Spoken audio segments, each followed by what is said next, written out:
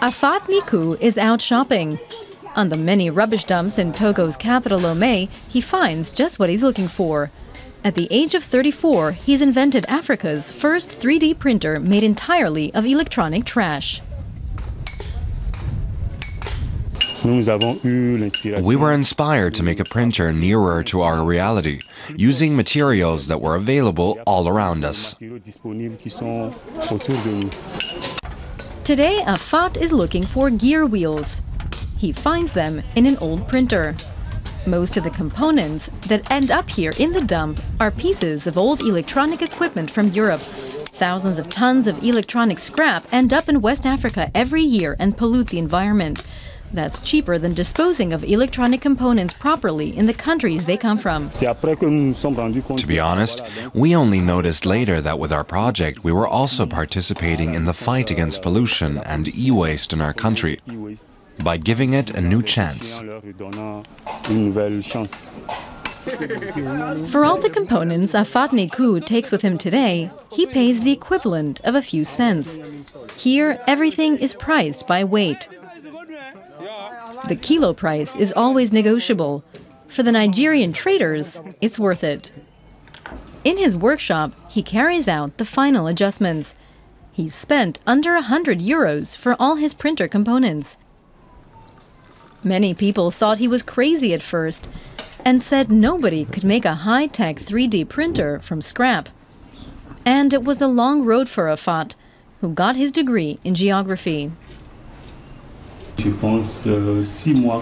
It took six months in all. It was a lot of work. I had to keep trying things out to see what components fit and if something didn't work. I needed another replacement part or had to make something myself. It took a lot of fiddling around, but it works.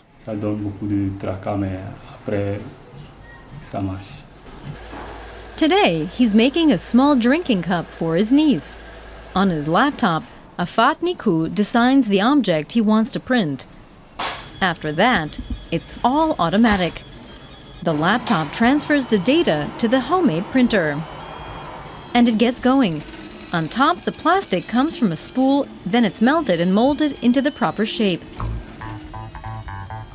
The entire process takes almost an hour.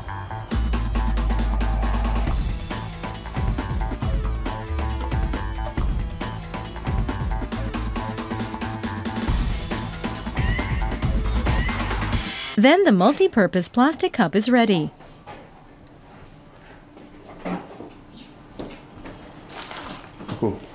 Afate's friend, Jama Alahar, has arrived. He's studying computer science and helped construct the printer. It's true that I had the idea for the printer, but I must say it wouldn't have been possible without the community here. The community is a group of Togolese technology enthusiasts who support each other's projects.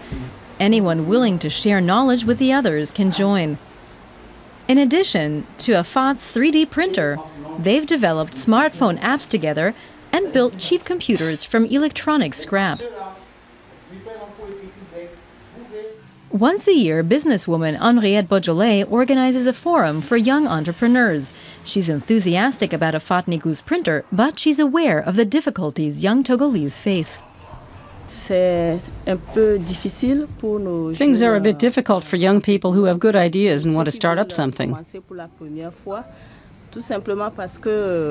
There are financial difficulties. The young people don't know how to begin and where to go for orientation. Despite that, Afate Gnikou is optimistic that he can also earn money with his 3D printer. He'll soon be going to New York to present his invention at a trade fair.